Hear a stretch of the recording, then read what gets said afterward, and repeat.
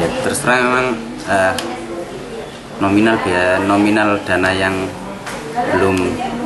bisa dicairkan kan lumayan besar khususnya jam kesmas yang eh, bulan Agustus 2013 sampai Desember 2013 sebesar 8,7 miliar ini benar-benar sangat mengganggu biaya operasional rumah sakit khususnya untuk pengadaan obat-obatan dan biaya operasional yang lainnya.